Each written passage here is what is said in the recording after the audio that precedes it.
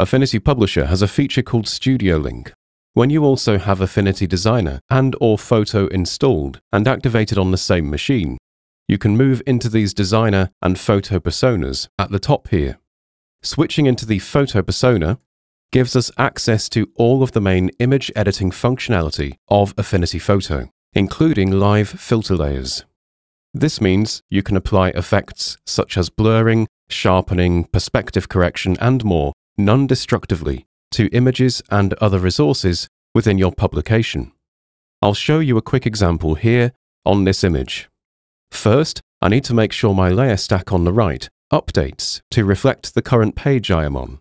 Now, rather than switch back to the Publisher persona to access the Pages panel and double-click on a page or a spread, a quick tip is to switch to the Move tool using V, then select a layer on the current page. So with this picture frame selected, I'll go to Layer, New Live Filter Layer, Blur, Depth of Field. On the Filter dialog, I'll check Preserve Alpha, then change the mode to Tilt Shift.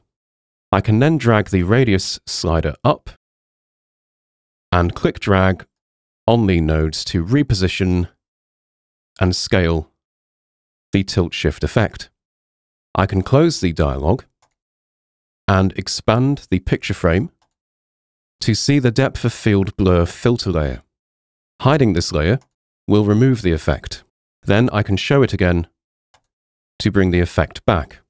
Clicking the filter icon will allow me to bring the dialog back up and configure the parameters at any time. I could experiment with bringing the vibrance slider up, for example, and then perhaps also moving the nodes around. Then I can also use the escape key to close the dialog. I'll show you another example that involves masking. On the front page, I'll select the picture frame and then I'll add a live clarity filter. I can bring the strength all the way up to enhance structure within the image, but this does look too strong on the sky area. What I can do now is switch to the paintbrush tool, which will let me mask the effect away from the sky. On the context toolbar, I'll reduce the hardness to zero, then I'll increase the brush width, and to paint away from a mask, the color needs to be set to black or no fill, which can be configured on the Tools panel here if required, or up here on the Color panel. My default is already pure black, however, so I am ready to begin painting away from the sky area. You can see the structural enhancement effect disappears as I do so. Layer isolation is available in all the Affinity apps, so I can expand the picture frame here, then I can option click on Mac, alt click on Windows, over the mask thumbnail to see the mask as a grayscale representation. I can see I've missed some areas up here, so I'll just paint into them. Then I can exit isolation mode by clicking onto another layer or by using the same Option or Alt-click technique on the thumbnail again. Now I'll use H to switch to the View tool. This is a useful tool for panning, since you can avoid accidentally moving or manipulating layers. On the second page, I might want to distort the perspective of this image. I'll use V to switch to the Move tool, then select this image on the page. If we were to apply a live perspective filter to the picture frame, however, this would just transform the entire image container. Instead, I'll delete that perspective filter, then I'll expand the picture frame and specifically select the Office Blocks image layer on the Layers panel here rather than its parent picture frame. Now, I can add the live perspective filter, and this time I am free to manipulate the nodes whilst the image bounds stay the same. Like any other live filter, this is simply a layer. So I can hide it, show it again, and even click the icon to go back in and modify the perspective transform if I need to.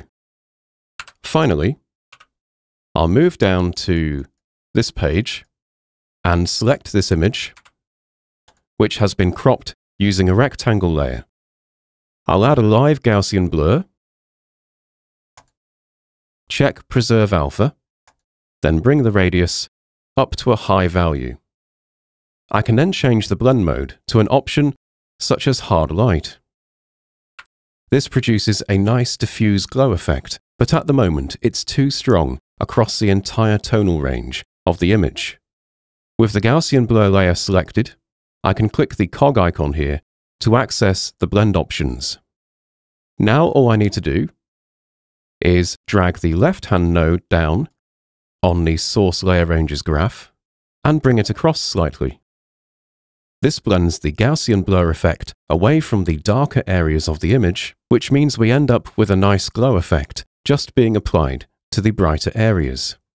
Again, I can hide this layer so you can see the before, then show it again so you can see the after.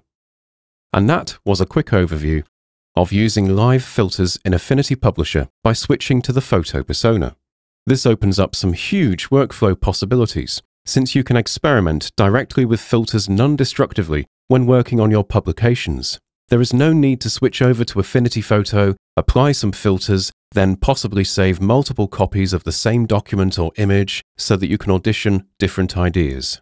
Instead, you can apply as many ideas as you want, non-destructively, on your publication. I hope you found this video useful. Thank you for watching.